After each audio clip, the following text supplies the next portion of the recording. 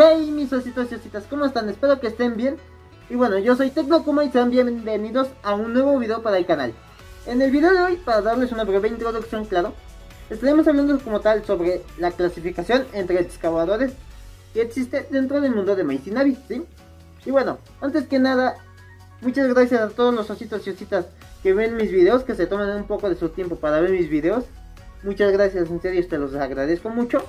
Y ahora sí, sin nada más que decir mis ositos y ositas, pasamos con el video. Muy bien mis ositos y ositas, como sabemos, dentro del mundo de Maze Abyss, desde que fue descubierto lo que sería el gran abismo, gente de todo el mundo empezó a ir, tanto fanáticos de lo desconocido como fanáticos por las riquezas, ¿sí? Lo que no sabían ellos es que debido a tantas exploraciones se llegaría a descubrir mucho, desde las capas del abismo, como también lo que serían animales sumamente extraños y raros, como también misteriosos artefactos que habitaban dentro de este mismo abismo sin saber cuál era su propósito como tal. Y conforme fue pasando el tiempo, se fue desarrollando lo que sería la profesión de ser un invasor de cuevas, ¿sí? Y como tal, esta misma conforme se fue desarrollando, conforme se fue adquiriendo y heredando, fue también desarrollando una clasificación, ¿sí? Y dentro de esta clasificación existen seis rangos, ¿sí? Lo que serían los primeros 5 rangos son alcanzables para todos, a excepción del rango número 6, ¿sí? Que es muy especial debido a que se tiene que hacer una serie de requisitos para poder ser el rango más alto, ¿sí? Y bueno, una vez ya dándoles esta breve introducción sobre cómo se fue desarrollando lo que sería esta clasificación y esta profesión, pasemos a los rangos. Primer rango, cascabeles. Muy bien mis ositos y ositas, como tal, aquellos que poseen un cascabel son por lo general niños menores a los 10 años, ¿sí? ¿Por qué? Bueno, como tal, estos niños se les puede considerar como estudiantes para ser invasores de cuevas, ¿sí? Como tal, los conocimientos que ellos van adquiriendo conforme a su formación educativa para ser un explorador de cuevas va desde lo más básico hasta lo actual, ¿sí? ¿Y a qué me refiero? Bueno, desde técnicas básicas o equipo básico que deben de llevar hasta los conocimientos más avanzados que puede haber, pero estos los van desarrollando conforme van creciendo y adentrándose poco a poco en el abismo, ¿sí? Como tal ellos no se les permite adentrarse en el abismo por el hecho de que son simples niños, ¿sí? Esto claro hasta cuando hagan su primera exploración o invasión de cuevas. Pero como tal, estos cascabeles o aquellos que poseen un cascabel tienen que hacer ciertos labores domésticos. ¿Y a qué me refiero con esto? Bueno, como tal podemos poner, eh, por ejemplo, lo que es el orfanato belchero, ¿sí? Aquí los niños que son de rango cascabel tienen que hacer labores como lo que sería aseo general en lo que es todas las instalaciones del mismo orfanato. Pero obviamente esto incluye también tanto a los cascabeles como a silbatos rojos, ¿sí? Y como tal el único cascabel que se ve sería Kiyui, ¿sí? Que sería amigo de Rek y obviamente Shrek, pero en su momento fue un cascabel igual, en lo que adquirió conocimientos básicos obviamente. Posteriormente se le dio el rango de Silbato Rojo tras hacer su primera inmersión al abismo. Segundo rango, Silbato Rojo. Muy bien mis ositos y ositas, como tal para adquirir este rango necesitarías antes que nada tener una edad mínima de 10 años, posteriormente realizar tu primera inmersión a lo que sería al abismo y una vez hecho esto se te asigna como tal el rango de silbato rojo. Pero como tal, llevar un silbato rojo quiere decir que eres bastante inexperto en lo que es ser un invasor de cuevas, ¿sí? Pero esto no es impedimento para los mismos silbatos rojos, porque, bueno, como tal, ellos ya llevan una educación más avanzada y formal respecto a conocimientos tanto del abismo como de ser un invasor de cuevas, ¿sí? Y bueno, como tal, los silbatos rojos tienen permitido descender a lo que sería la primera capa del abismo, ¿sí? Esto ya sería como tipo prácticas, donde ellos pueden implementar los conocimientos que van adquiriendo conforme pasa el tiempo. También ellos buscan lo que serían reliquias que no llegan a ser de muy alto grado, pero son valiosas para lo que sería el orfanato belchero, ¿sí? Ojo, cabe mencionar, las exploraciones que suelen hacer ellos no duran mucho tiempo. ¿Y por qué? Bueno, como tal no dura mucho tiempo por el hecho de que suele haber muchos factores que pueden poner en riesgo a los silbatos rojos. Y esto podría ser desde lo que sería la fauna hasta que suban especies de otras capas a buscar alimento. En este caso podemos poner como ejemplo lo que sería la mandíbula escarlata, que sube desde la tercera capa a la primera solamente para buscar alimentos, ¿sí? Y bueno, los silbatos rojos más relevantes que vimos en la serie sería Rek, Rico, Nat y Sigi. Tercer rango, silbato azul. Muy bien mis ositos y ositas, como tal, para ser un silbato azul o adquirir el rango de silbato azul necesitas cumplir la edad de 15 años, pero suele haber casos especiales, y en este caso podemos poner a Madul como ejemplo, ¿por qué? Bueno, como tal, Madul es aprendiz de lo que es un silbato blanco, lo que sería Osen la inamovible, ¿sí? Y al ser un aprendiz de Osen, o de un silbato blanco más bien dicho, automáticamente le dio el rango de silbato azul antes de cumplir la edad de 15 años, ¿sí? Y bueno, aquellos que poseen lo que sería un silbato azul quiere decir que son mucho más experimentados en lo que sería en las exploraciones de cuevas y poseen un conocimiento mucho más amplio y variado respecto al abismo, por lo cual se les permite descender hasta lo que sería la segunda capa del abismo, ¿sí? Estos silbatos pueden tener un periodo largo de incursión en lo que sería en sus exploraciones, por el hecho de que sus conocimientos y habilidades para la supervivencia son mucho más amplios y mejores que los de un silbato rojo. Como tal, estos suelen descender a lo que sería el abismo, acompañados de otros silbatos azules o incluso de silbatos lunares. Como tal, estos silbatos se dedican más a lo que sería la recolección de reliquias y exploración del ambiente más que nada. Y bueno, como tal, el único personaje que se vio en lo que sería en la serie que fuese un silbato azul es la misma Madul, ¿sí? Por el mismo hecho de que es aprendiz de Osen, un silbato blanco. Cuarto rango, silbato lunar. Muy bien mis ositos y ositas, como tal, aquellos que poseen lo que sería el silbato lunar Quiere decir que son grandes excavadores y son muy expertos. ¿Por qué? Bueno, como tal, este rango de silbatos se les tiene permitido hacer sus incursiones hasta lo que sería la cuarta capa del abismo, lo que sería las copas de los gigantes, ¿sí? Con lo que sería la mayor precaución posible y regresar con vida de sus mismas incursiones, ¿sí?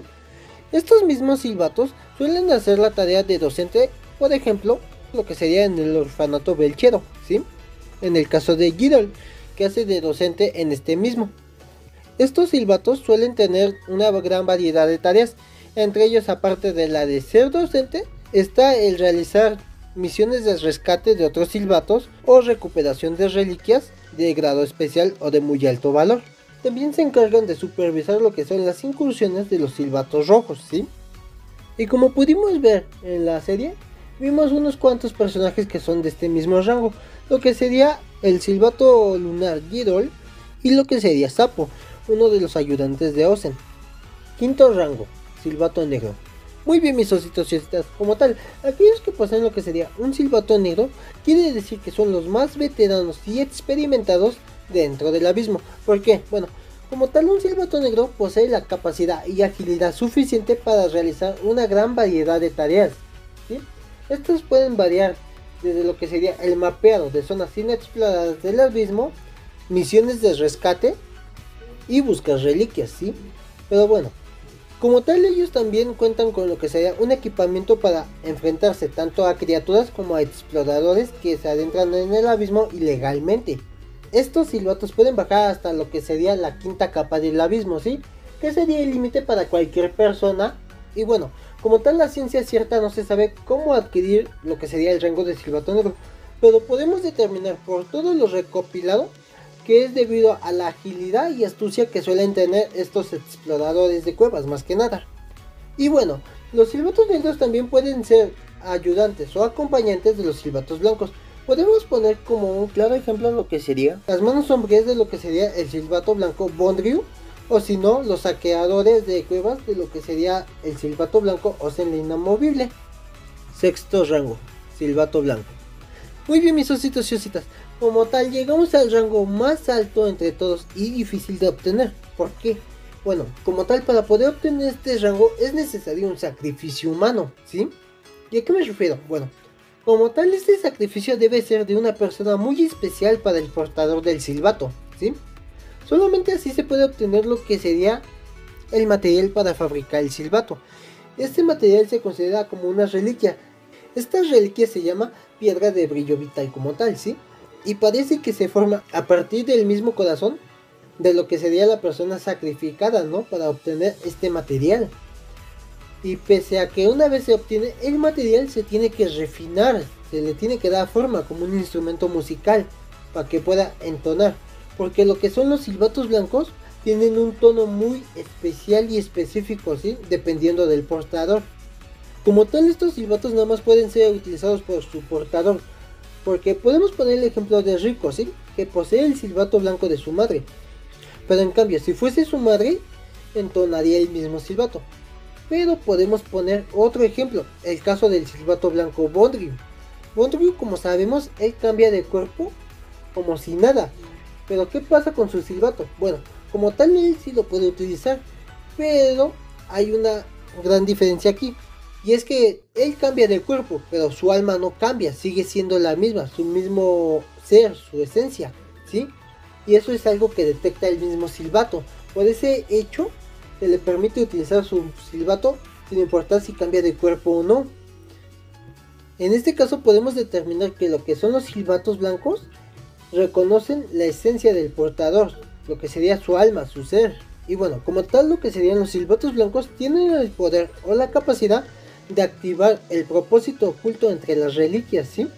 Tal puede ser el caso de lo que sería Ocean con lo que sería la vasija antimaldiciones. Cuando tocó su silbato, automáticamente esta misma se activó y se abrió. O si no, en el caso del silbato blanco Bondrio, que él tiene que utilizar su silbato blanco para poder activar la máquina esclavizadora de almas, que es una reliquia de grado especial que él posee, ¿no? Para poder implantar su alma en otro cuerpo, ¿sí? O el caso de Rico, que utilizó su silbato blanco para poder hacer la última inmersión a través de la activación de lo que sería esta reliquia, que es una cápsula que te transporta de lo que sería de la quinta capa a la sexta capa. O si no, en el dado caso de lo que sucedió en la Villa Ilbu, que en cuanto ella obtiene o adquiere nuevamente a lo que sería su silbato blanco, pero ya refinado con una forma más específica, y en cuanto lo llega a tocar, llega a lo que sería Rec, pero con un aspecto muy distinto, ¿sí? Este sería como tal el propósito oculto dentro de Rec, o la forma oculta de Rec, más bien dicho, que es esta especie de color blanco o aura blanca que lo cubre como tal, ¿sí? Que le ayuda mejorando todas sus habilidades como tal, haciéndolo bastante eficaz y ágil en la batalla. Y bueno, como tal los silbatos blancos también poseen un derecho muy especial a lo que sería aportar armas, ¿sí? Y en este caso las armas que llegan a aportar son reliquias. En este caso podemos poner el caso de la madre de Rico, ¿sí? Lo que sería Lisa la aniquiladora, ¿sí?